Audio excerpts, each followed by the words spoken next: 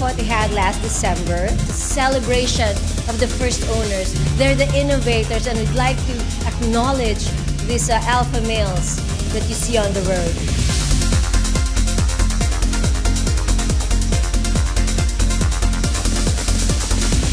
Recently, I bought a ZX14 bike that is a super touring bike.